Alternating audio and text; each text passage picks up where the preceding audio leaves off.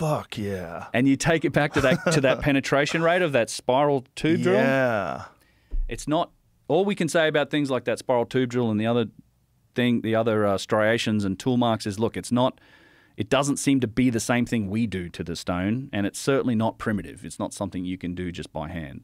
So has anybody the cores? Has anybody tested the radioactive levels of the cores? I think he, he I don't know he might have tested the cores when he was there recently. I'll have I'll talk to him. I was talking to him to this morning. Um, I can ask him about the core. That's a great question because that would it's this if it was the process, it should show something similar. If that's indeed the process. The look the other possibility is okay. They weren't machined with this method, but these were used in some method. The other the other theory he has that these may have been part of a process for enriching material for some other nuclear use, or they were part of a system that that the use idea nuclear material. They had advanced nuclear science somehow or another.